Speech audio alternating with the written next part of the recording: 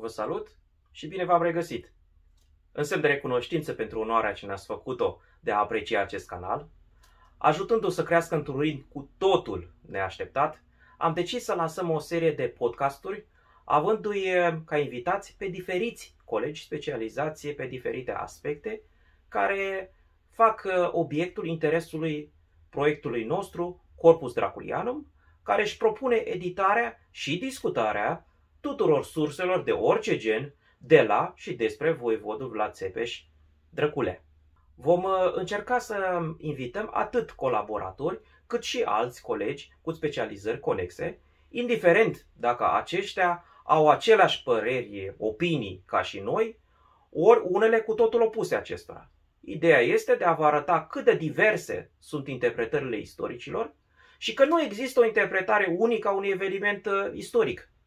Scopul acestui podcast este, deci, de a vă introduce în laborator de creație, ca să zic așa, al uh, istoricilor și să învățați cu câte probleme ne confruntăm, cât de mult și cum ne luptăm cu sursele până le dăm de capăt și le deșifrăm înțelesurile ascunse.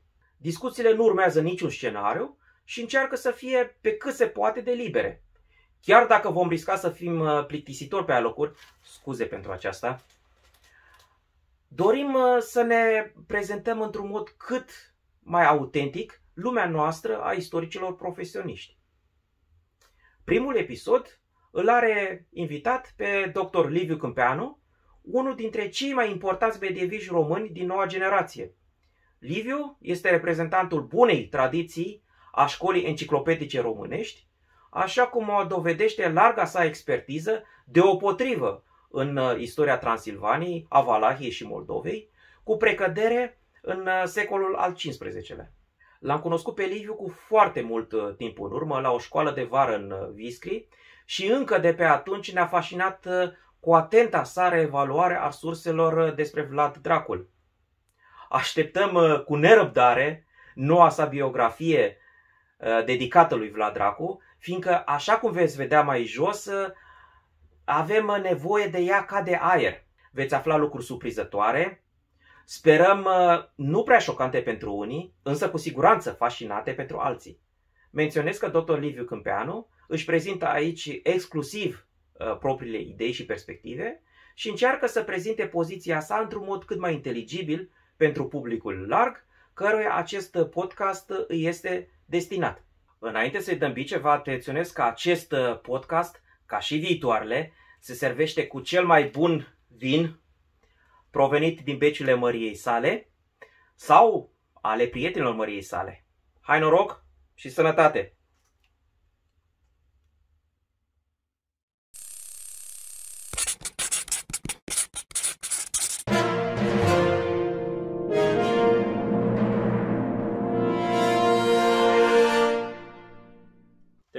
Salutare! Nu ne-am mai văzut de, de un car de vreme. Când ne-am văzut ultima dată era la Viscri, nu? Salutare, salutare. Da, ultima dată cred că... Nu la Viscri, la Leeds ne-am văzut. Când era? A fost 10. 10 ani. La Viscri ne-am văzut prima dată, da, da, da. Ne-am văzut prima dată, dar, dar ne-am, ultima dată ne-am văzut față în față la Leeds. Apoi, bun, am mai vorbit noi, am mai... Și atunci ne-am mai văzut la așa ceva. Exact. Așa Asta zic și eu. Hai noroc sănătate, și la bună revedere. Sănătate și celor care ne ascultă da. și ne privesc și să fie o discuție fructoasă, ce să zic. Mm. Atunci... Atunci mi-ai zis tu, mi-ai povestit ceva interesant despre, despre Vlad Dracul. Uh, și relația lui cu, cu concurența din, din Valahia și cu Ordinul Dragonului. Am putea relua un pic uh, discuția de unde am uh, încetat noi atunci? Cred că da. Sau de unde am încetat uh, săptămâna trecută când am vorbit la telefon. Da, bun, sigur, asta a fost o discuție preliminară. Păi bun, da, deci ce să zic, pornim de la, de la uh, o, un aspect pe care îl cunoaște, cred că orice om cu o cultură istorică cel puțin medie sau peste medie, și anume faptul că Vlad Dracul a fost uh, membru al Ordinului Dragonului. Fapt incontestabil al minterii, în, în, uh, sau aparent incontestabil în, în istoriografia românească. Și uh, știm din toate tratatele de istoria românilor, din monografiile despre Vlad Țepeș, din cele despre Vlad Dracul mai puține și, din păcate, monografii științifice avem una singură, cea a lui Ilie Minea. Uh, de, care, ar fi, care ar fi stadiul discuțiilor, deci uh, stadiul cercetărilor? Cam mm, prin ce an am rămas noi cu, cu cercetările? De tocmai. Care uh, sunt ultimele contribuții majore la tema Vlad Dracul și copilăria lui Țepeș? Păi tocmai, asta e, e monografia lui Ilie Mini, 1928. De acolo nu s-a mai vrea să închisi nimeni să ia izvoarele la mână și să le citească. Nici în istoriografia românească, nici în cea maghiară? Sau vecinii noștri, nici ei nu prea au... În cea maghiară cu atât mai puțin. În cea maghiară cu atât mai puțin. Dar trebuie semnalată totuși o lucrare relativ recentă semnată de A.K. Brekov, se cheamă Of the Father, o istorie a lui Vlad Dracul. Este de fapt pseudonimul lui uh, este de fapt pseudonimul lui, lui Treptow, cel care a făcut uh, monografie cu, cu Vlad Țepeș și chiar și una cu Vlad Dracu, dacă nu cumva este aceeași pe prima, n-am reușit să o văd.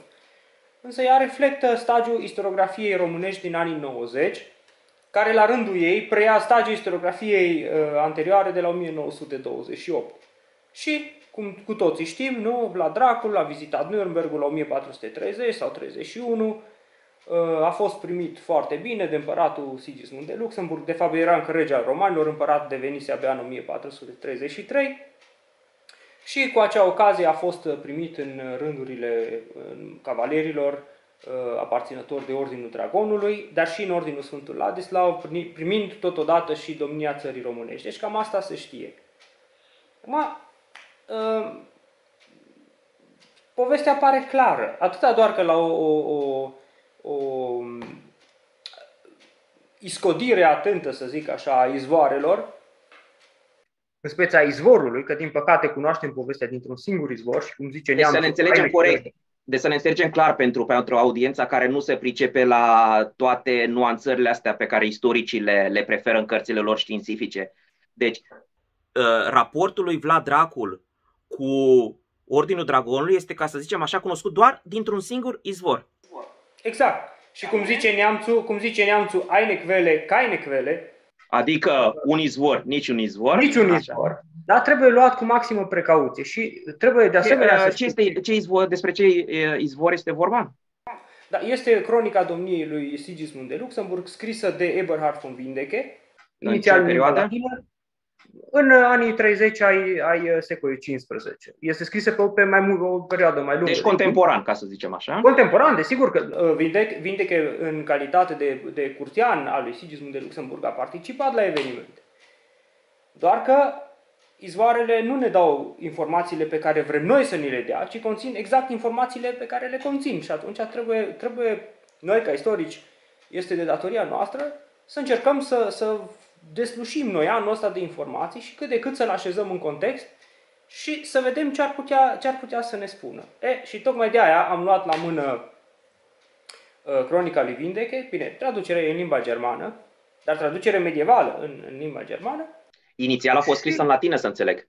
Da, da, inițial, varianta oficială, varianta de la curtea lui Sigismund de Luxemburg, se dorea o cronică oficială a domniei sale, a fost în latine, dar a fost și tradusă în limba germană. Și după aceea în perioada aceea, în perioada în secolul XV, în timpul vieții lui. Sau... Uh, da, sau imediat după. În tot cazul, deja în secolul XV uh, a fost uh, tradusă în... Și nu, nu există nicio deosebire între originalul latin nu. și...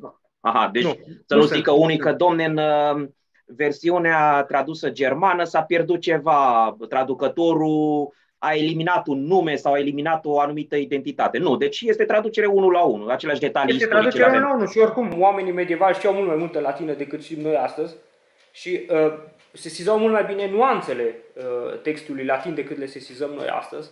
Și dacă ai două variante ale aceluiași text, nu strică niciodată să le compar pe amândouă. Dar mă gândesc că poate, poate traducătorul să fi lăsat anumite detalii, nu pentru că nu știa latină, ci pentru că nu l-a interesat. Spre exemplu, în latină să scrie uh, regele Valah Xulescu, iar traducătorul să fi scris numai în germană numai regele Valah. Ne? Nu, nu. Sau nu, nu, voivodul Valah. Nu sunt omisiuni. Nu deci sunt nu sunt omisiuni. Deci clar am... Uh, așa. Pe, ce ne spune... pe, răspundere, pe răspunderea istoricului că nu, nu sunt omisiuni. Și textul este foarte important pentru că nicăieri Dar nicăieri în textul respectiv nu găsești un Vlad. În primul rând și mai ales că personajul care a vizitat Nürnbergul, care a fost primit de Sigismund de Luxemburg, care a primit Ordinul Dragonului, este numit Mircea Vodă, fiul lui Pancratius cel Înțelept.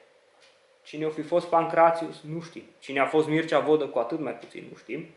Pentru că după Mircea cel Bătrân, în secolul XV, nu avem alt Mircea până la anul 1480, care este unul dintre fiii lui Vlad Dracul. Și iese din discuție o identificare a celui de la 1430 cu cel de la 1480. Cu atât mai mult cu cât știm că cel din 1480 era încă tânăr, era relativ tânăr. Nici, preced, nici pretendenți?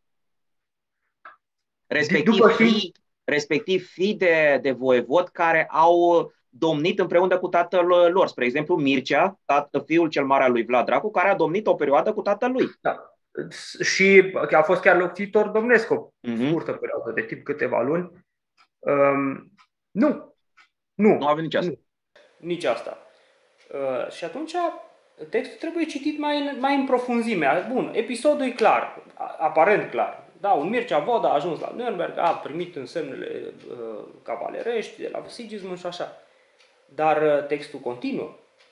Textul continuă și mai jos scrie că acest Mircea Vodă nu numai că a devenit uh, cavaler al curții lui Sigismund de Luxemburg, dar a devenit și Adică Sigismund de Luxemburg l-a numit și domn al țării românești pentru că sosise vestea cu o, o delegație de boieri din țara românească uh, despre moartea lui Dan Vodă.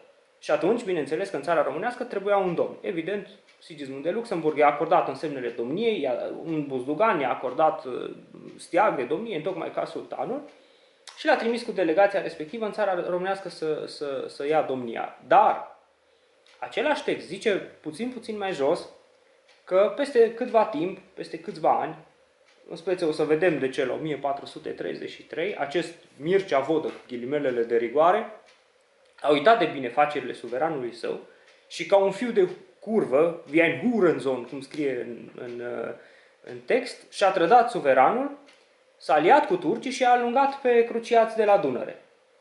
Cine erau acești cruciați? Erau cavalerii teutoni pe care Sigismund de Luxemburg i-a colonizat în Banatul de Severin în 1429 și au reușit să se mențină, uh, să-și țină pozițiile dunărene până pe la 1433, dar nu uh, grație vitejiei lor, că în realitate erau 8 cavaleri și, și vreo câteva zeci de slujitori, de cnește, de, de slujitori armați, și grație tratatului încheiat de, de uh, Sigismund de Luxemburg cu Murat al II-lea la 1439, deci nu tratat de pace, de fapt un, un armistițiu pe trei ani de zile.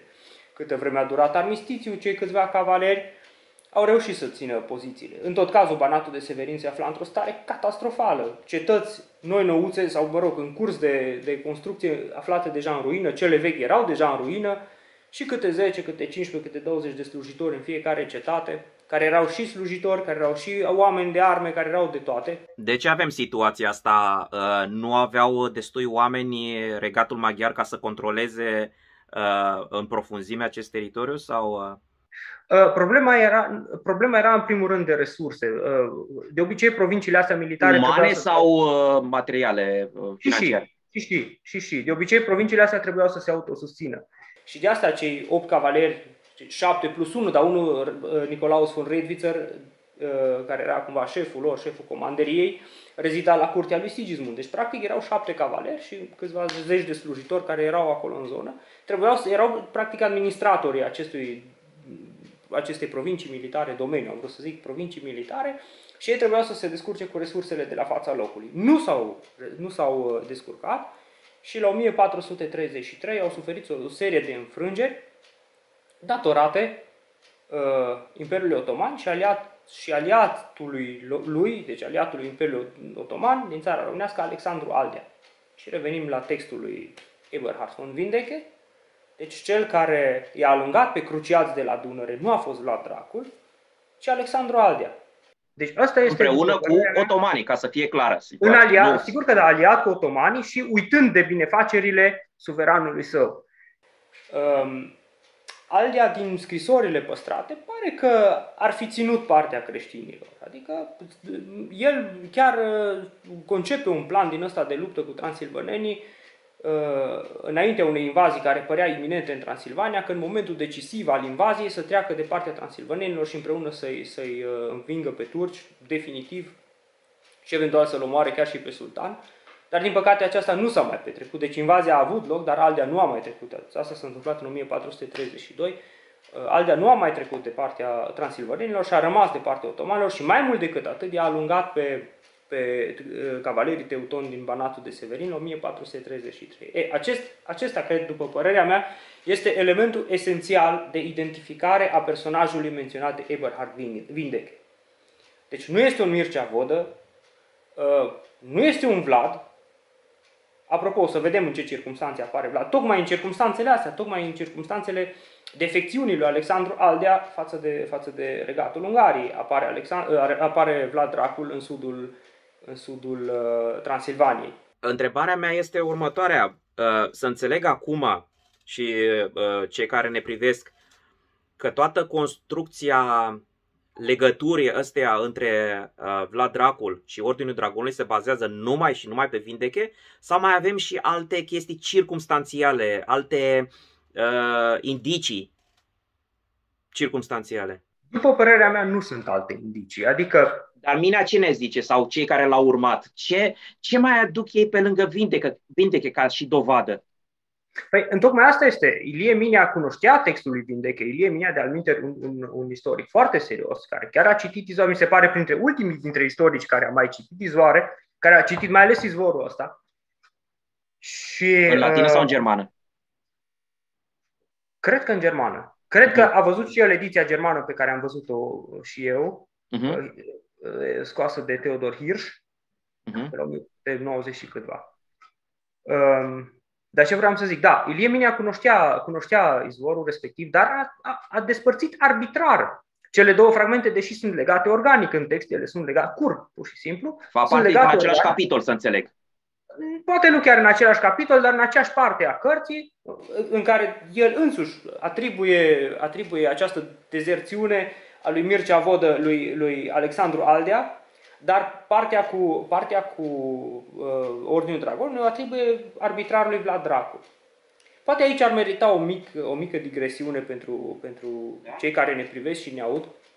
Interpretarea sub nicio formă nu aparține lui Ilie Minea, ci primul care l-a identificat pe acest Mer, Merter Vaida, Mirce, Vod, Mirce Vaida uh, din Vindeche cu, cu Vlad Dracul a fost Johann Christian von Engel la începutul secolului XIX în Geschichte der Moldau în Valahai.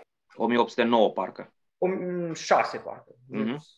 În fine, acolo, primul, de, prima de, primul deceniu al, al secolului XIX. După aceea, prin, prin Xenopol, prin Iorga, a ajuns interpretarea și la Ilie Minea și de acolo s-a cimentat, pot să zic așa, în, în vulgata istoriografiei românești, fără alte fără, alte, fără a fi contestat de către cineva. Adică a fost luat ca fapt uh, incontestabil, dacă au spus-o niște autorități înaintea noastră, înseamnă exact. că au exact. dreptate, nu așa, se poate și așa a și rămas. Exact, așa, așa a și rămas. Uh, însă vedeți că dacă, citi, dacă, dacă izvoarele se reau, ceea ce e de datoria noastră, să reluăm izvoarele și să reluăm marile teme, să, să, să, să le aducem la zi. Atenție, izvoarele nu ceea ce se scrie despre izvoare, adică ce au scris alți istorici despre izvoare. Izvoarele și pe cât posibil, acum după posibilități, în original.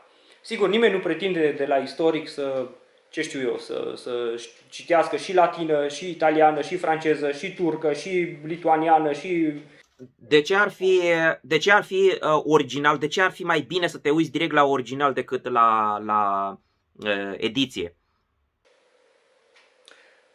Edițiile sunt făcute de oameni și ca orice lucru făcut de oameni are erori. Și eu am, lucrat, am lucrat la, la ediții de documente și am lucrat la, la um, crearea unei baze de date de documente și când ai de făcut la normă, să zic, aproape la normă, să zic așa, bineînțeles că îți scapă, că le faci repede, trebuie să le faci, trebuie să le dai cât de cât o formă și să le dai drumul. Nu ai timp să analizezi fiecare izvor în parte. Ori... Și cu alte cuvinte, să nu, uh, să-și dea seama oamenii, uh, aceste izvoare sunt scrise de mână, nu sunt scrise cu caractere de, de tipar. Asta înseamnă că mâinile sunt diferite, poate să o literă să fie făcută într-un mod uh, mai altfel decât se scrie în mod uh, uh, normal iar editorul, istoricul care citește, să citească greșit uh, respectivul uh, nume, respectivul cuvânt și așa să-l scrie în, în ediția lui. Apoi vine peste 50 de ani un alt coleg al lui și citește acel cuvânt altfel. De asta trebuie ca noi să ne ducem, să stăm cu documentul original în mână. Nu se poate mereu, dar pe cât posibil trebuie să stăm cu originalul în mână. Pentru că noi putem să-l citim altfel decât înaintașii noștri. Iar cei care vor veni după noi îl vor citi, bine, pot bineînțeles să-l citească altfel decât l-am citit noi.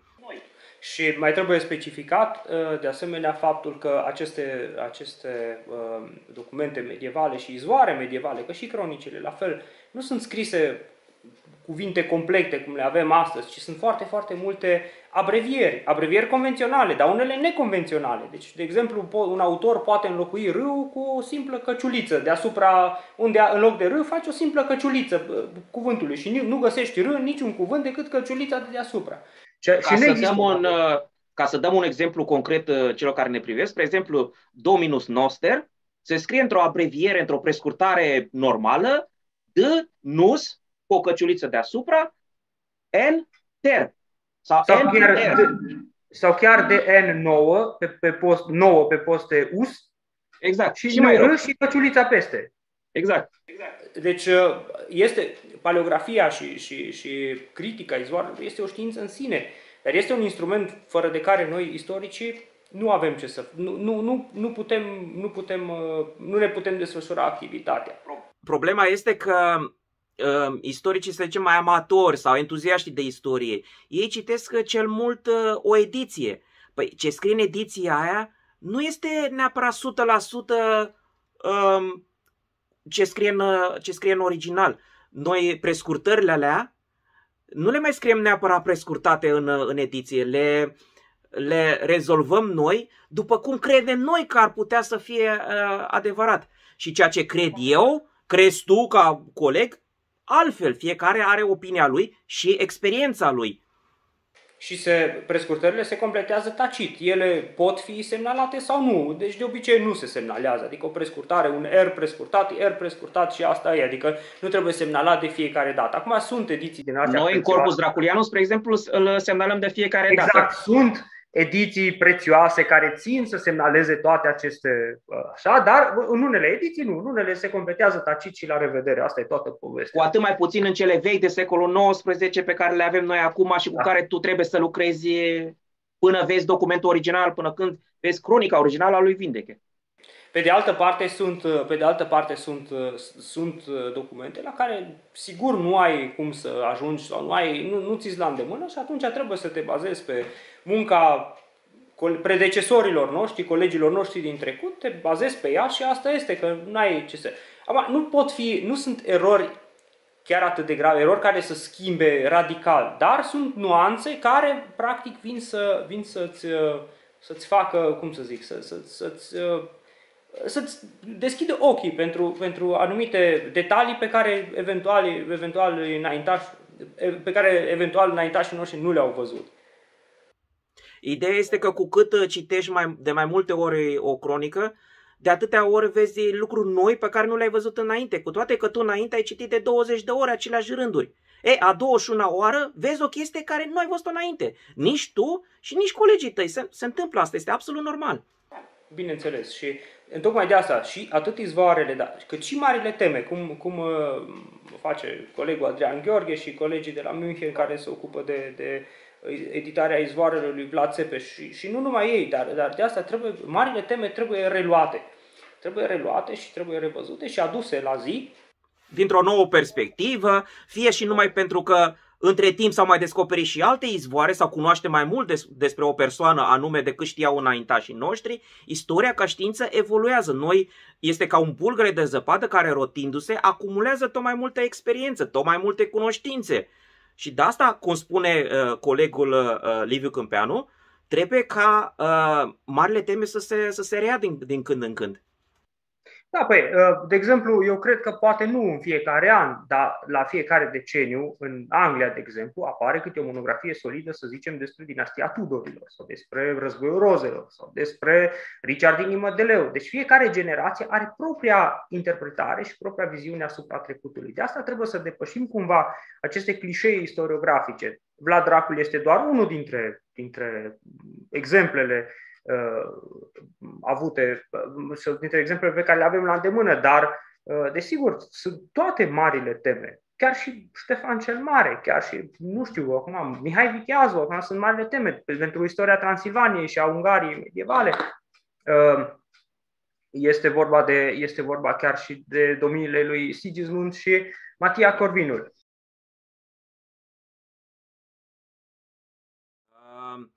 Am o curiozitate însă și, și revin la, la ce am întrebat uh, înainte și sunt sigur că cei care ne vor privi se vor întreba și ei la fel. Bun, înțeleg, izvorul principal este Vindeche, dar pe lângă izvorul ăsta care ne spun, ne vorbește despre un voievod valah care nu se numea Vlad, așa, și care ar fi avut vreo legătură cu Ordinul Dragonului, ce alte indicii mai avem? Mai, mai avem altceva care să, să ne ducă către Vlad Dracul? Pe scurt, nu. Pe lung, oh. au fost aduse în discuție au fost aduse în discuție Asta două exact. elemente decorative. În primul rând, o monedă pe care apare un animal uh, fantastic, uh, care poate fi un balaur, dar poate fi orice altceva. Uh, și o, o mică monedă din argint care a fost atribuită lui Vlad Dracul și s-a considerat că da, uh, balaurul de pe monedă trebuie musai să fie simbolul ordinului, atâta doar. Deci două chestiuni. În primul rând că moneda este anepigrafă și în al doilea rând că balaurul, presupusul balaur de pe monedă este un animal biped cu aripi, iar uh, balaurul de, din simbolul de pe stema Ordinului Dragonului este un animal patruped care se strangulează cu propria coadă.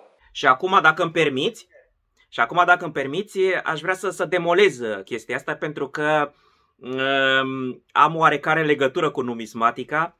Uh, sunt eu însumi uh, colecționar de monede și trebuie spus că aceste monede sunt uh, extrem de, de rare. Sunt um, în jur de 15 în toate colecțiile de muzeale și ale diferitelor institute de cercetare din România. Însă, Același tip de monedă o găsim în uh, catalogul Kopitski, care este catalogul standard al monedelor poloneze. Și această monedă, nu mai știu exact acum să vă spun din cap, însă voi arăta aici uh, sus, voi posta uh, pagina respectivă. Uh, este o monedă de secol atribuită unui, unui rege polonez care a domnit în secolul XIV. Atât aversul cât și reversul corespunde cu iconografia pe care ai spus-o tu despre care ai vorbit tu. Pe avers avem o pasăre, poate să fie vultul, poate să fie cioară, poate să fie orice, cu o cruce în, în cioc. Iar pe cealaltă parte este un, un balaur cu coada uh, înnodată. Același lucru le avem pe așa zisele monede ale lui Vlad Dracu și pe monedele acestui, uh, acestui rege polonez. Faptul că sunt foarte rare în România, extrem de rare, Uh, nu trebuie să ne, să ne uimească cu nimic, pentru că monedele fiind poloneze, e de aștepta ca România să fie absolut accidental găsite, respectiv în uh, Transilvania. Cam asta am vrut eu să, să spun. Uh, este o descoperire absolut accidentală, căutam niște monede poloneze din secolul XIV și am dat peste asta. Apropo, monede poloneze secolul XIV, chiar 13. Bourul îl găsim pe o mulțime de monede poloneze. Deci nu este un, să nu ne gândim acum că dacă vedem un boul pe o monedă trebuie neapărat să fie moldovenească. Nu!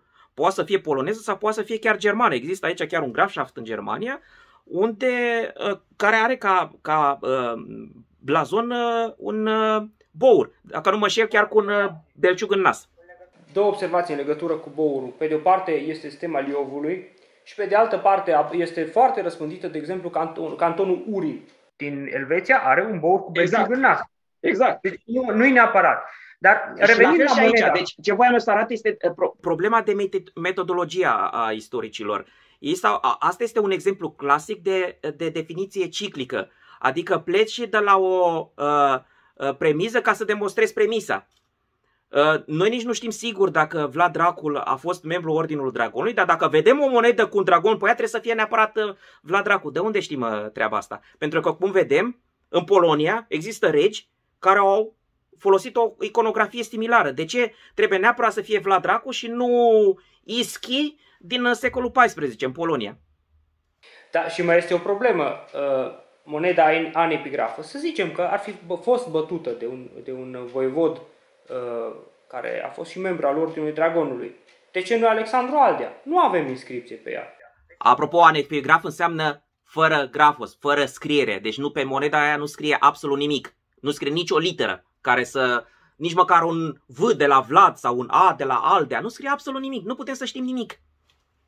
Așa, deci asta a fost un argument adus. Și un al doilea argument adus de istoricul de artă Pavel Chihaia este o reprezentare, o, o, o placă din, din Gresie, mi se pare, o, o placă de piatră, pe care e reprezentată lupta epică dintre două animale fantastice, dintre care unul pare a fi un, un uh, balaur.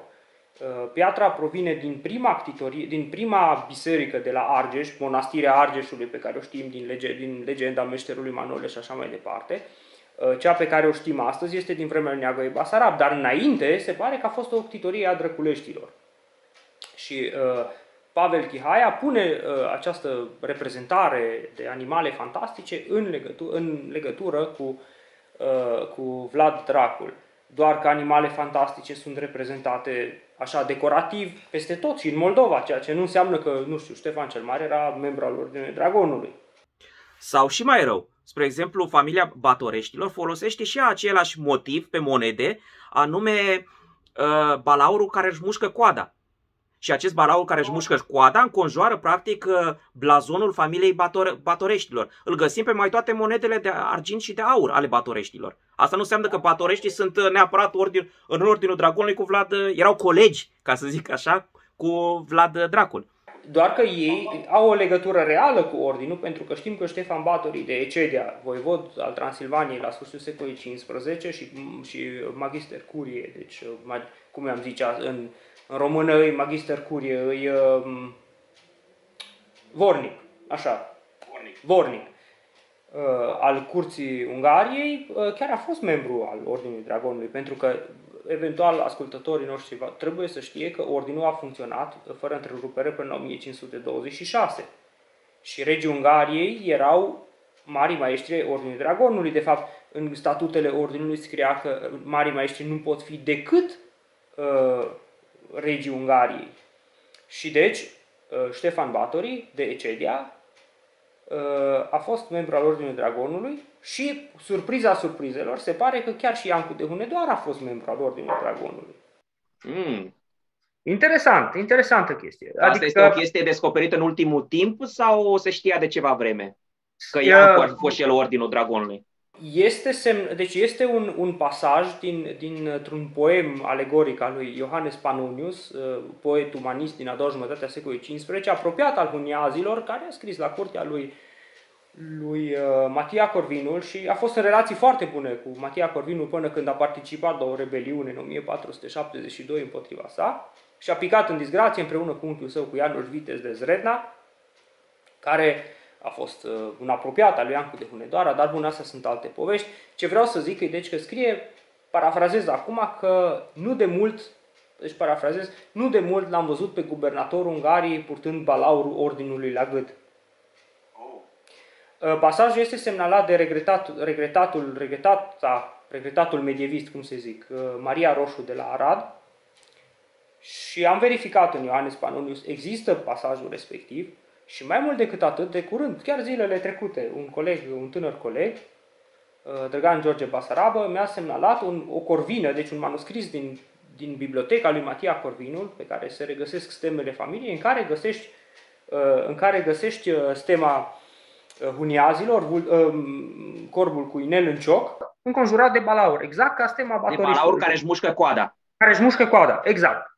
Adică ceea ce vedem noi pe, pe monedele de la sfârșit de secol sau din ultimul sfert al secolului XVI, din aceeași iconografie o avem și acolo. Da, exact. Și uh, deci se pare de huniazii clar au avut legătură, batoreștii clar au avut legătură. Cât despre domnii țării românești, poate Aldea. Poate Aldea. Dar despre Vlad Dracul greu de spus. Bine ar fi să fie. Cum mi-a, mi-a dus un istoric de aminte foarte entuziast așa și foarte, foarte binevoitor, dar nu știu, nu știu cât de, cum să zic, nu știu, bine pregătit, dar nu știu cât de critic. Asta e. mi-a adus argumentul, păi da, dar e mai fain ca Vlad Dracul să fie membru al Ordinului Dragonului. Păi, e fain, dar nu avem izvoare. De unde? Da, ar fi fain să, să-l vezi pe Vlad Dracul ca pe un cavaler medieval, nu știu ce, uh, care a Mie mi-ar place ca Vlad Țepe să fie marele cavaler, însă îmi trebuie documentul. Trebuie să arăt documentul, exact. să arăt negru pe alb. Exact, exact. Sau exact. maro pe alb. Sau pe galben, că între timp am mai... mai degrabă pe galben.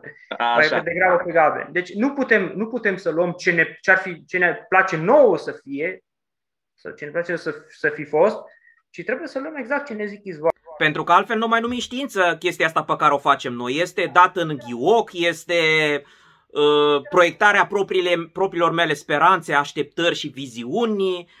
Noi, istoricii, lucrăm numai cu document, numai cu ce scrie alb pe negru. Nu avem, din păcate, trebuie să facem altfel. Și în cazul lui Mina, deci înțe- uh, înțelegerea mea este că practic omul s-a bazat pe niște autorități din, dinaintea lui și nu s-a gândit prea mult pe aia critic uh, să reevalueze documentul uh, respectiv. Mai mult decât atât, l-a și, de, a și despărțit cele două elemente constituante ale, ale izvorului respectiv. Deci, povestea cu ceremonia de la Nürnberg și povestea cu alungarea cruciaților de la Dunăre le-a despărțit total arbitrar. Dovadă că le cunoștea pentru că, drept să vă spun, eu chiar de la Ilie Minea știu de existența uh, cronicii lui Vindec și de, de, de ediția lui, uh, ediția menționată anterior. Dar, uh, dar le-a despărțit arbitrar.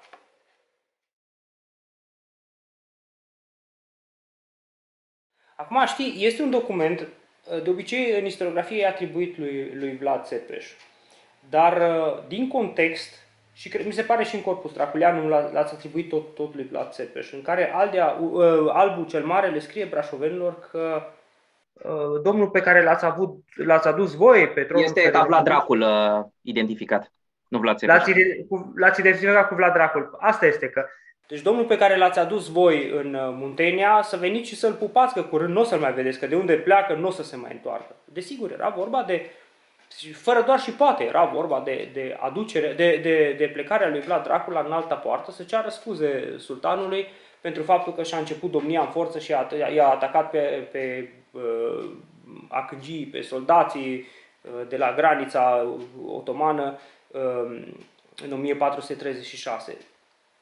Mie mi se pare că această călătorie a lui Vlad Dracul la Istanbul, la Adrianopol, nu la Istanbul, uh, a avut loc în 1437 pentru că cronicarii otomani aduc, ca, aduc următorul detaliu, și anume că Vlad s-a dus la înalta poartă și a dus tributul pe 2 ani. Păi, pe primul an 1436, după ce și-a, după ce și-a luat deci 36-37. Și al doilea atribut pe 37. Și probabil că în anul 1437 Vlad Dracul s-a dus la Constantinopol, la, nu la Constantinopol, Constantinopol încă nu era cucerit, să știți, dragi ascultători, este doar o, o, cum să zic, o obișnuință, așa să zice, în alta poartă Constantinopol, nu, în alta poartă la momentul respectiv era în Adrianopol. Uh, deci a mers, a, a mers la înaltă, la Edirne de astăzi, da? Și, și a mers la înaltă poartă ducând tributul pe 2 ani, ceea ce mă face să cred, deci, că, că acest eveniment a avut loc la, în 1437. Uh, și uh, probabil documentul pe care l-am menționat înainte uh, a, lui, a lui uh, Albu cel Mare către brașoveni, că să, să, să-și pupe pe voievodul pe care l-a adus pe tronul țării românești, era, era vorba despre Vlad Dracul, deci înainte de această călătorie foarte primejdioasă. Trebuie spus că uh, Vlad Dracul și-a început domnia în forță, deci deodată ce a trecut în țara românească, în condiții al necunoscute, uh, și-a asigurat, și-a asigurat uh, domnia, fidelitatea boierilor din țara românească și a atacat uh, bazele de Akenji. Akenji erau Cum și-a asigurat-o? Știi cumva cu pumnul sau cu punga? Cine poate ști? Nu știm. Mhm. Deci nu am niciun indicie. ar fi? Cert este, deci doar evenimentele ulterioare uh, ne demonstrează faptul că Vlad Dracul și-a asigurat, și-a asigurat domnia, că al nu ar, fi, nu ar fi atacat pe otomani.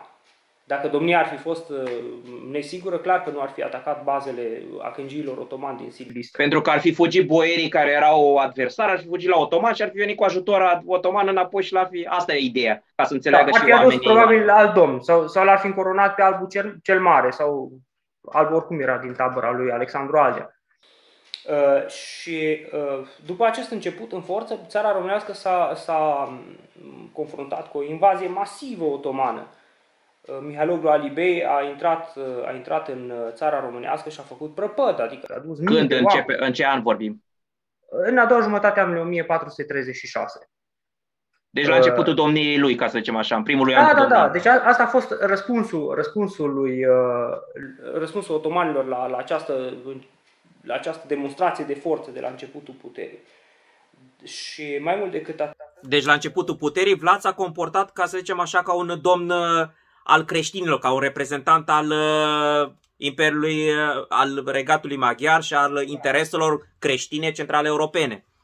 Da, Uh, și deodată ce s-a confruntat cu această invazie masivă otomană, uh, Transilvania au intrat în alertă, adică voivodul Adislau Ceac sau Ceachi uh, a Voivodul Transilvaniei, ca să înțelegem da, era voivod al Transilvaniei, desigur. Așa. voivodul Transilvaniei era un fel de guvernator militar al Transilvaniei pentru regele Ungariei. Transilvania, în momentul respectiv, era provincia regatului Ungariei de 400 de ani, sau de mai bine de 400 de ani și uh, a rămas ca atare practic până la 1918 uh, și, și voivodul Transilvaniei, deci Ladislau Ceachi, din momentul respectiv, a trecut uh, la, la sud de Carpați, uh, să, nu, nu doar pentru a-l ajuta pe aliatul lui Sigismund de Luxemburg din țara românească, dar și pentru a preîntâmpina o invazie otomană în Transilvania, pentru că invaziile otomane în perioada aia au fost destul de frecvente. La câțiva ani, Transilvania se confrunta cu o invazie din asta masivă și atunci Uh, au, au, s-au purtat cel puțin o bătălie pe viață și pe moarte în care fratele lui Iancu de Hunedoara, cavalerul lui Ioan cel Tânăr, a fost rănit și a vărsat sângele. Există un document uh, uh, pe, pe, pe, despre, despre, eveniment, despre evenimentele de atunci. Cert este că, cert este că invazia masivă a fost respinsă. Doar că sultanul i-a poruncit lui Mihailoglu Alibei să, inv- să invadeze țara românească de câte ori va avea ocazia și să-i, să-i oblige pe, pe munteni să se supună. Ceea ce s-a și întâmplat. Ceea ce s-a întâmplat, cum ziceam înainte, în anul 1437. Anul în care Vlad Dracul s-a dus la, la Adrianopol și, uh, în, și împreună cu el au mers, au mers și boierii țării românești și cei cel mai important, fiii lui, cei mici, Vlad și Radul, care deja uh, au fost uh, uh, ținuți sau reținuți la înalta poartă ca oaspeți.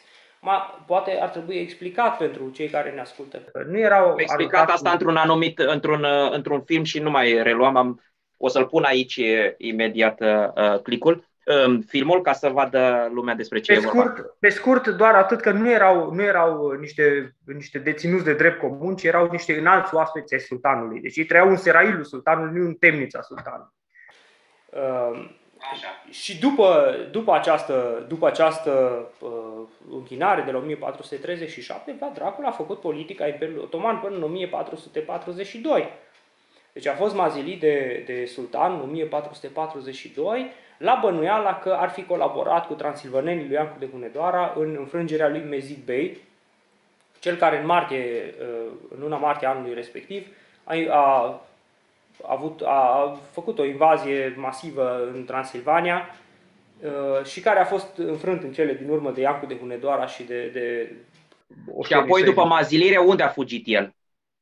Uh, aici este o poveste interesantă, pentru că nu a, a fost uh, un simulacru de mazilire, pentru că sultanul i-a trimis un salv-conduct să vină la înalta poartă să discute.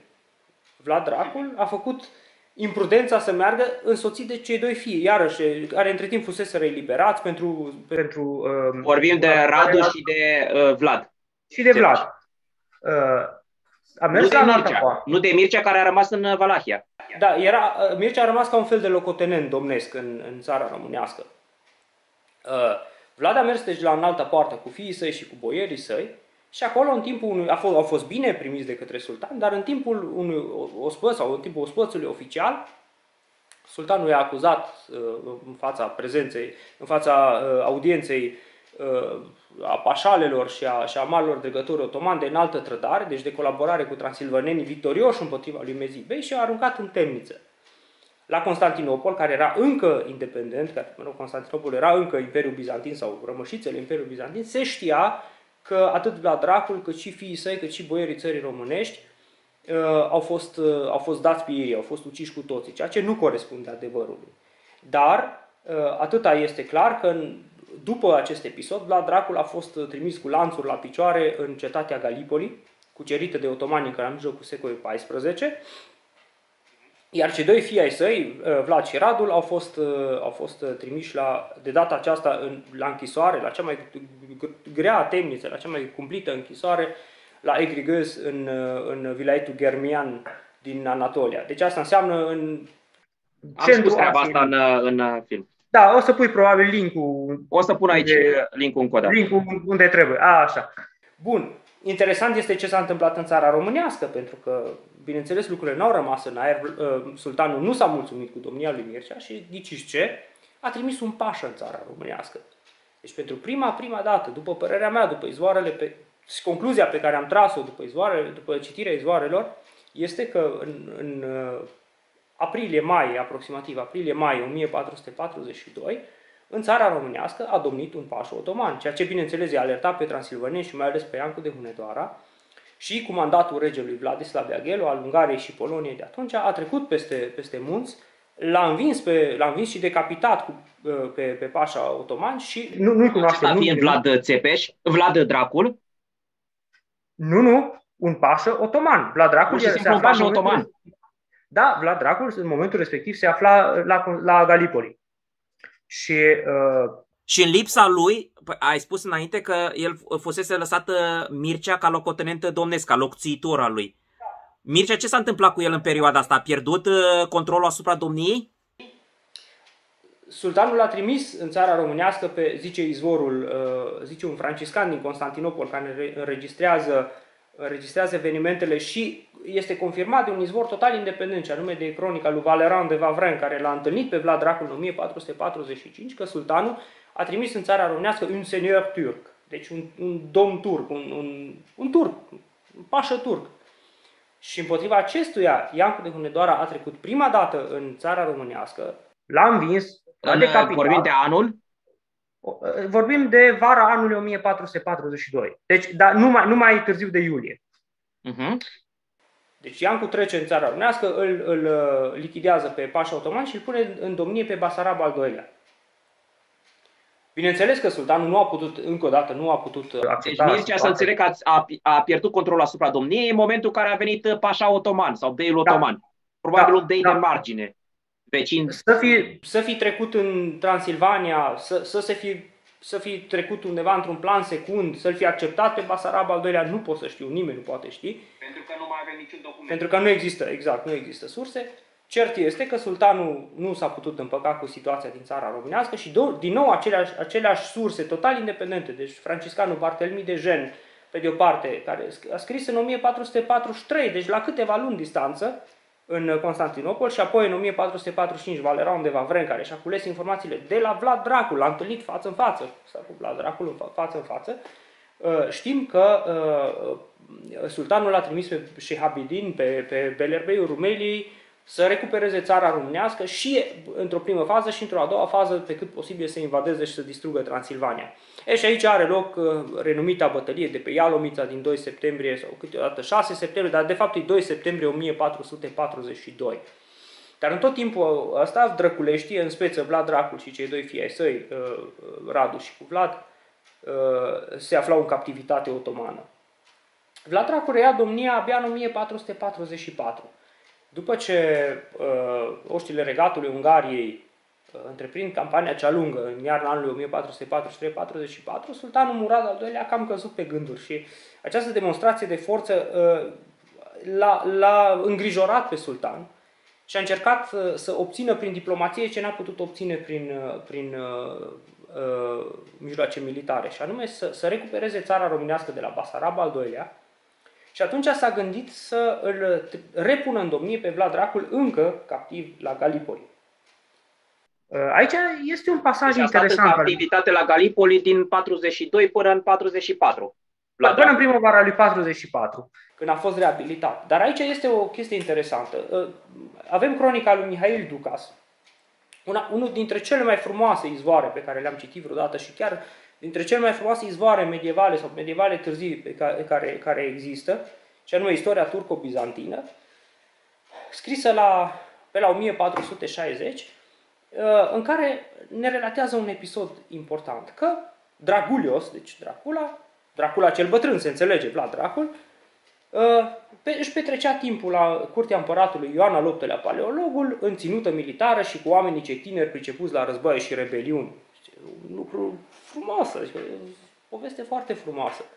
Și că împăratul Ioan al VIII-lea Paleologul i-a pus la dispoziție uh, o corabie, o galeră, și cu anturajul său militar uh, a mers la o margine a țării românești, unde i-a atras, uh, i-a atras de partea sa pe mai mari acestei țări.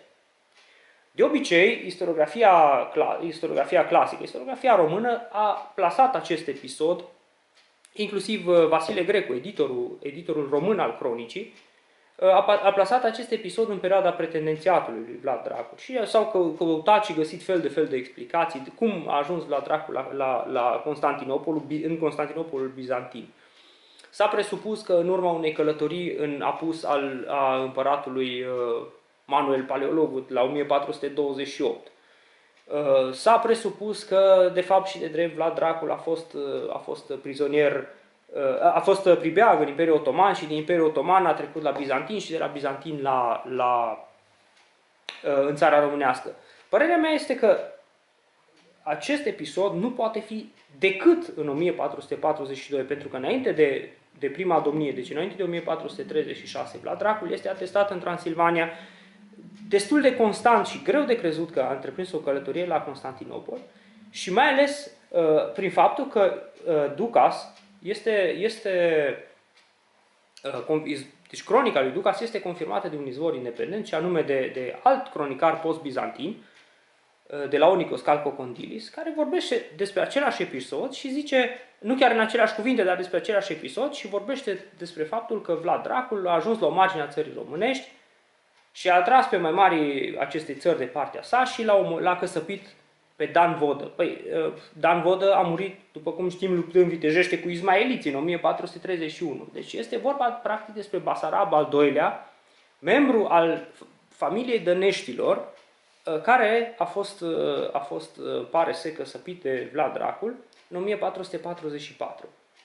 Dar de ce prin Constantinopol? 44, după bătălia de la Varna, presupun. Nu, nu, nu, nu, nu, înainte. Înainte, pardon. Înainte, înainte de bătălie. Deci a, a, aceasta a fost o, o acțiune pregătitoare a bătăliei de la Varna.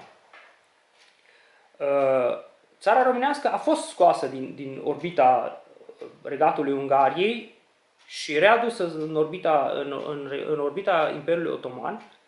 Dar uh, prin instaurarea Petrona lui Vlad Dracul, Exact, prin instaurarea Petrona. La anumit câteva luni înainte de bătălia de la Varna. A, asta a fost prin prin, uh, deja prin luna martie. Deja prin luna martie. Așa, dar se pune întrebarea firească de alminte, dar, dar de ce prin Constantinopol? De ce, de, de ce prin intermediul bizantinilor și nu direct, nu? Că după cum știm, sultanul îl putea, că să, îl putea mazili pe domnul în funcție și să numească pe altul. Uh, explicația, iarăși, reiese din context, adică tocmai atunci se desfășurau niște tratative diplomatice foarte, foarte sensibile între Regatul Ungariei și Imperiul Otoman. Uh, după demonstrația de forță care a fost, uh, care a fost uh, campania cea lungă, Imperiul Otoman s-a arătat dispus la negocieri și la tratative și chiar și la unele concesii teritoriale. Dar aceste tratative au durat aproximativ din ianuarie-februarie 1444 până în august 1444. Și părerea mea este că pentru a nu periclita tratativele și așa de foarte dificile și și așa uh, problematice și, și de o parte și de cealaltă, uh, sultanul a ales această cale ocolitoare pentru a nu-l deranja pe vasalul Adică direct. nu vine din partea noastră, nou voivod vine din partea nu bizantinilor. Nu vine bizantinii, ei de din de-al vostru, ortodox de-al vostru, nu e, noi nu avem nicio treabă. Nu știm, nu ne băgăm. Uh, și că asta, asta este contextul, în care, după părerea mea, deci asta, asta e interpretarea acestui pasaj frumos din, din, uh, din uh, cronica lui Mihail Ducas. Uh, o, după părerea mea, o, o plasare a acestui episod înainte de prima domnie, deci în perioada de pretendențiat, este exclusă. Nu, nu se potrivesc. Acum, uh, cronologia lui Ducas lasă de dorit. Uh, ascultătorii noștri trebuie să știe că Duca s-a scris la vreo câteva decenii distanță și nu în Constantinopol, ci în Mitilene, deci uh, în orașul Mitilene de pe insula În Lesbos, sudul Greciei, în Peloponez, da? Da, în Peloponez, pentru că uh, el era un fel de secretar, un fel de administrator al despoții, al, al tiranilor Gatilusi. Ăștia erau niște, o familie de, de uh, tirani italieni, cumva reminiscența epocii cruciadelor, uh, cruciadei a patra, care controlau uh, Levantul Uh, practic fiecare oraș din ăsta ex-bizantin avea câte o familie din asta de tirani italieni uh, care controlau, controlau aceste orașe. Cum era, cum să zic, Sforza la Milano sau, sau ce știu... Am înțeles, am înțeles. Așa. Bun. Uh, și deci scrie, scrie mult mai târziu. De alminte, scrie până pe la 1462, când insula Lesbos a fost cucerită de, de turci.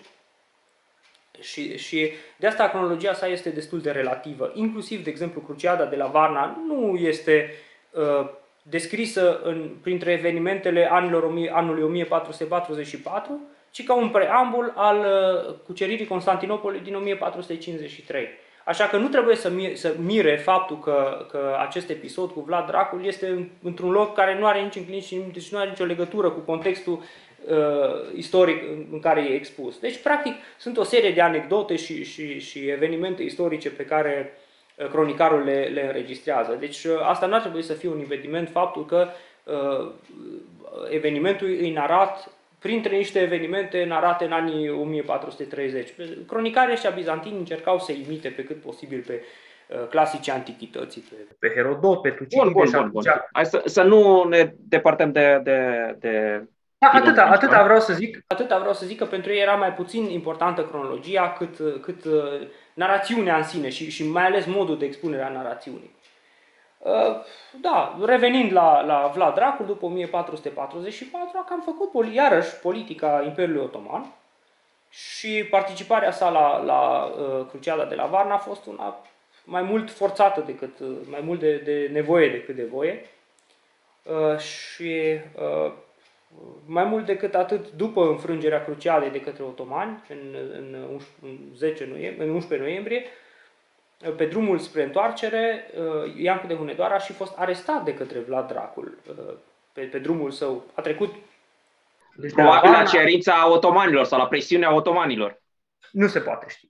Istoriografia maghiară a presupus chiar că Vlad Dracul ar fi vrut să-l predea pe Iancu de Hunedoara otomanilor. Da, și dacă ar fi vrut să o facă... Dar ce interes avea? Ce l-a apucat pe el așa dintr-o dată să-l aresteze? A, avea ceva resentimente împotriva lui. Iancu nu-i oferea ceva. Ce l-a apucat pe el de așa din senin să-l aresteze pe, pe cel cu care fusese aliat câteva săptămâni înainte? Păi fusese aliat de nevoie. Și se pare că între cei doi... Deci, dacă, de nevoie în ce ar fi considerată nevoia asta? Adică trupele uh, cruciate erau la el în țară și nu avea ce să facă până la urmă, trebuia să meargă cu ele. Exact, nu a avut ce să facă. Dar se pare, dacă, dacă este să dăm crezare interpretării profesorului Matei Cazacu, se pare că între cei doi existau, uh, existau uh, tensiuni politice și nu numai, tocmai din cauza monetăriei uh, mutată, preluată de Iancu de Hunedoara în 1442, tocmai în contextul arestării lui Vlad Dracul de către sultan și, pe, și, și rămasă în, în, în posesia, să zic așa, lui, Vlad Drac, lui Iancu de Hunedoara, și după aceea. Deci, deci ar, fi ceva interese, ar fi ceva de interese uh, economice la mijloc Economic. și nu mai degrabă presiunea uh, politico-militară a otomanilor și asta, dar, dar că eu cred că, și, sau cel puțin, na, demonstrația profesorului Cazacu este destul de, de, de convingătoare și cred că atât presiunea politico-militară a otomanilor, cât și deci o acest, exact, combinat, cumva a dus la, la disesiuni între cei doi bărbați, al foarte, foarte ambițioși amândoi. Dar după acest episod al arestării lui, lui Iancu de Hunedoara, a intervenit și o dușmănie personală. Deci cei doi nu s-au mai putut vedea. Din momentul respectiv, au fost și, și această dușmănie, după cum o să vedem imediat, a dus, a dus practic la moartea, la, a fost fatală lui la Dracu. Um, ce s-a, ce... ce s-a întâmplat după uh, cum a luat în sfârșit această a doua domnie a lui uh, Vlad Dracu? Deci a venit undeva în martie 444, la scurt timp înainte de bătălia de la Varna, supraviețuiește bătăliei de la Varna, supraviețuiește politic, bălăteriei de la Varna și el și Mircea care se întoarce cu trupele uh, acasă, pline da, de, ja, de pradă făcută în, în tabra otomană. Și ce se Aici întâmplă cu cei o... doi? Aici este, este, o, este o, o chestiune interesantă pe care nu, nu mi-o pot explica, nu, nu am o explicație încă pentru ea. Potrivit franciscanului Andreas de Palațiu, participant la Cruciada de la Varna, Iancu de Hunedoara a reușit să, să scape din, din focul bătăliei cu, cu cavaleria maghiară. Acum nu că toți erau unguri, dar era cavaleria regatului Ungariei. Deci cu o bună parte din oaste. Deci nu a fost, catastrofa nu a, constat, nu a fost atât în, în, nu a constat atât în înfrângerea militară a Cruciadei, cât în cea a dispariției lui, lui Vladislav Aghelo. Bun, bun, bun. Hai să trecem ușor la... Da, da, da, da. Acum, acum, aici vreau să ajung. Deci și Iancu trece cu astea asta destul de masivă în țara românească și Vlad Dracu ea ține calea. Cu ce forțe? De unde, de unde a avut Vlad Dracu? Sau cu ce forțe? Poate, poate chiar oamenii de arme a lui Mircea care participaseră alături de, de cavaleria maghiară a lui Iancu. Care este o bună întrebare. De unde a putut el să, să aresteze pe șeful a mii și mii de soldați? Exact, asta și, și mai ales ce l-a determinat, nu prezența miilor de soldați la el în țară, ce l-a determinat să le libereze a fost o solie venită din partea lui Lorenz Hedervari, Laurențiu Hedervari, care era uh, locțitorul lui, locțitorul lui Vladislav Aghelu pe timpul Cruciadei, în care l-a amenințat cu invazia în cazul în care nu le liberează pe, pe capitanul general. Cum? Ce? Nu, nu, am, nu am încă niciun fel de explicație pentru evenimentele Să înțeleg că, bun, era, era singur, trecea singur prin țara românească, dar soldații lui n-au venit după aia ca să le libereze. A trebuit să vină da, presiune o... din exteriorul Valahiei ca să, să-l determine exact. pe el să cedeze, să, deci să nu-l trimită la a fost amenințat, ci să-l trimită înapoi în Ungaria. A fost amenințat cu o altă invazie, deși el era practic invadat, că toată cavaleria maghiară, dacă e să o iei așa, acum nu știm câți erau, dar trebuie să fi fost câțiva acolo. Uh, deci e, e foarte ciudat episodul ăsta și da, știm, foarte, știm doar din, prin intermediul câtorva cronici maghiare și atâta tot. Uh, deci, deci nu... este, a fost eliberat. Când a fost eliberat? În ce perioadă a fost eliberat Iancu?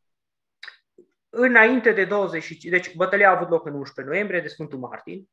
În 10 noiembrie, mă scuzați, am zis și înainte 11, nu. În 10 noiembrie, în, în anteziua Sfântului Martin. Da? Și, de, și deja în 25 noiembrie, deci după două săptămâni, el era deja la Brașov. Deci toată povestea s-a desfășurat foarte repede.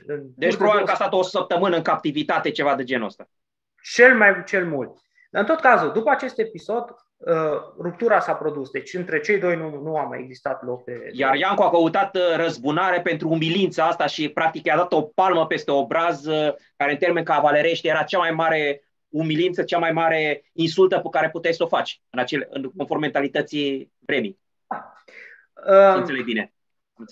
Vlad Dracul se pare că avea legături foarte bune cu, cu autoritățile otomane, atât cu cele teritoriale cât și cu cele aulice, pentru că Însuși Papa a intervenit la nobilul bărbat Dracul, domnul țării românești, să, pentru, pentru eliberarea uh, cardinalului Giuliano Cezarini din captivitatea otomană pe care, pe care creștinii îl credeau încă în viață, dar care, care în realitate și-a pierdut viața în, în Cruciada da. de la Varna.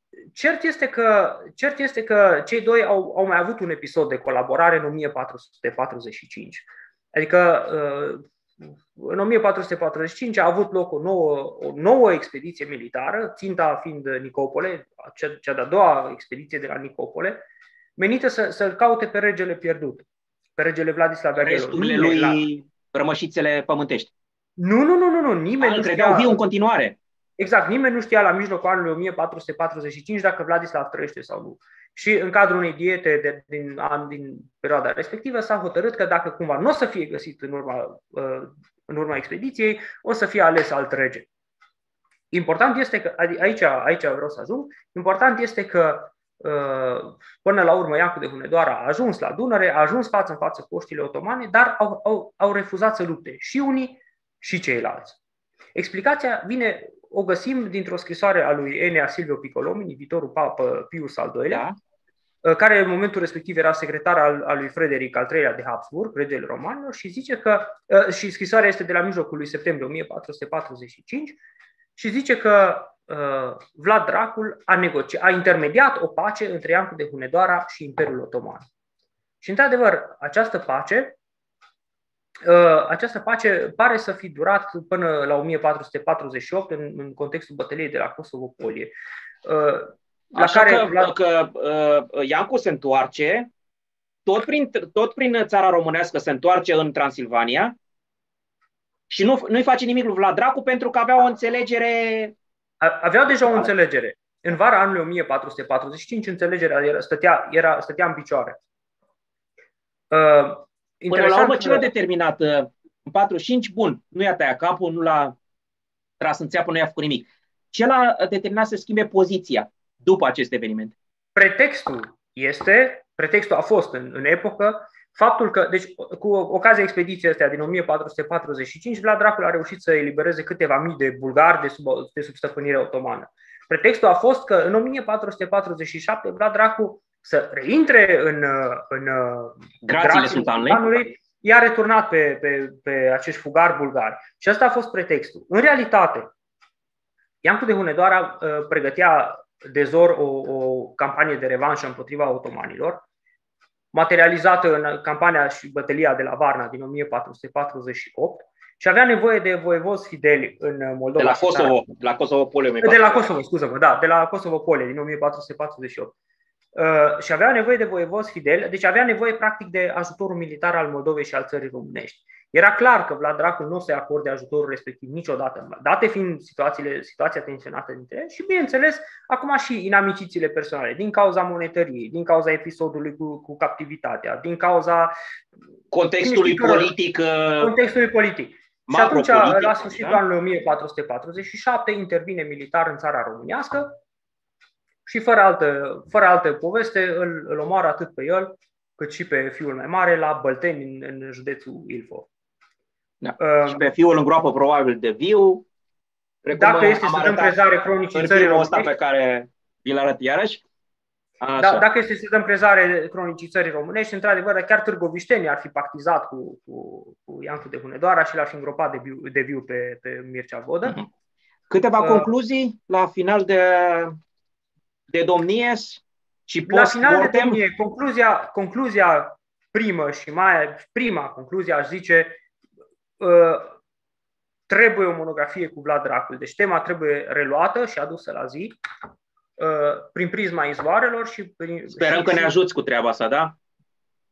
Încerc, încerc uh, din, fiți, din fiți toate... cu ochii pe el pentru că are planuri mari, da? E lucrând, lucrând la o monografie cu, cu Iancu de Hunedoara, pe care cred că o să o termin în cursul, la începutul anului viitor, invariabil am adunat și, și izvoarele privitoare la, la Vlad Dracul și practic munca e pe 50%, să zic așa, e făcută.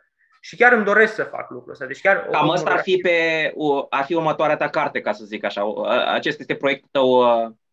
Ar fi, da, un proiect al doilea, următorul după, după, după Iancu de Hunedoara, deci așteptăm de la tine, în primul rând, o carte despre Iancu în uh, următorii 1, 2, 3 ani și apoi nu, nu, lucrare... anul, anul viitor. Anul viitor, anul viitor chiar, ah, ne bucurăm anul și te așteptăm aici uh, imediat să ne, să ne prezinți cartea. Da, și să avem o da, discuție da. pe marginea ei. Cu tot, cu, cu tot dragul cu, și cu ocazia asta, uite, lansez și o, și o invitație dacă vrei să-mi fii referent la carte după ce o să fie gata textul, să ți-o trimit, să, să dai cu mare, cu mare plăcere. Orice în caz că nu știați, așa și... se face în, în, în lumea academică, um, colegii noștri să cunoască ceea ce alți colegi scriu, unii cu autoritatea, adică care să pricep cât de cât la subiect, scriu o recenzie uh, autorului respectiv și o, public, și o prezintă publicului larg. Bineînțeles că nu veți fi privați de această recenzie și aici, în contextul de față. Imediat ce va ieși cartea lui, fi sigur că vă vom uh, prezenta și lăuda cum, uh, cum se cuvine. Sau critica. Sau critica, exact. Sau critica. Bun, și deci după Iancu uh, îmi doresc, chiar este una dintre, mi-am dorit, cred că din adolescență să, să scriu o carte cu Vlad Dracul. Bine, păi atunci rămâne așa, acum, da? Uh, ne, ne putem să facem un nou episod când, cândva și să ne trădezi ceva, dintre, uh, ceva din secretele ce o, ce o să fie cuprinse în această carte, care va apărea anul viitor? Despre Iancu zici? Despre Iancu. Da, sigur că da, cum să nu, cu tot dragul. Peste o lună, să zicem, ne facem o întâlnire peste o lună și discutăm despre ea? Peste o lună, două, trei, cum vrea publicul și acum așteptăm uh, comentarii în, uh, la secțiunea like de, de mai jos, să ne spuneți și ceea ce credeți și ceea ce vreți să aflați și mai ales ce întrebări să-i punem colegului uh, dr. Câmpeanu pentru că este un doctor, precum ați observat, și specialist în domeniul respectiv. Năpustiți-vă cu, cu întrebări pentru, pentru el și fiți sigur că nu le voi uita și voi supune ca atare torturii întrebărilor voastre de mai jos. Bine, deci ne întâlnim cât da, se poate face, de repede. Ne face o mare, o mare plăcere, cred că și uh, uh, spectatorilor uh, uh, le va face aceeași plăcere. Sper ca cu toții să fie, uh, să fie gustat uh, nu numai vinul pe care îl recomandăm, ci mai ales discuția cu dr. Liviu Câmpeanu. Și uh, um, da, sperăm să ne vedem cât, cât de curând. Și eu la fel. Nu știu dacă la următorul episod mi-ar face mare plăcere. Acum uh, depinde și de timpul uh, tău și de uh, reacția uh, panilor noștri și celor care ne privesc. Fi, uh, îți propun, îți propun un, uh, un, uh, o cale de mijloc, să zic așa. Da, o să vorbesc despre, o să vorbesc despre monografie, dar să încerc să găsesc uh, legăturile, să, să, să scot în evidență legăturile pe care Iancu le-a avut cu Drăculeștii mai ales, se lege și de proiectul tău, cumva, și legăturile pe care le-a avut deci cu Drăculești, cu, cu Vlad da. și cu ne-am, ne-am, bucurat, ne-am bucurat foarte mult. Ideea este, ideea este e, e, excelentă și până la următoarea întâlnire, așa cum Maria sa obișnuia să-și încheie scrisoarea în limba slavonă, vă urez și eu și doctorul Liviu Câmpeanu și Dumnezeu să vă vesească. La revedere! Salute, met grația!